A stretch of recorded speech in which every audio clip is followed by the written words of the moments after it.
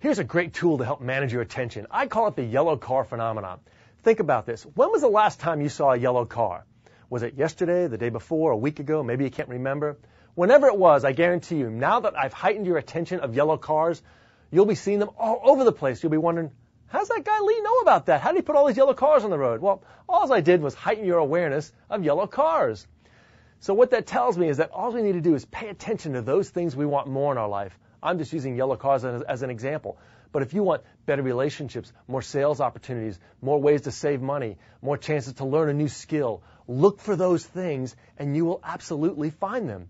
I remember the first time I was aware of what I call the yellow car phenomena. My wife was pregnant with our first child. We were walking around town looking for cribs and stuff, and I, I said to myself, "Oh my gosh, every, there must be something in the water. Everybody's pregnant." Well, of course they weren't pregnant. I just had a heightened awareness of the state of pregnancy. I want you to have a heightened awareness, not just of yellow cars, but the things that you want more in your life, and I guarantee you, you'll see more of them.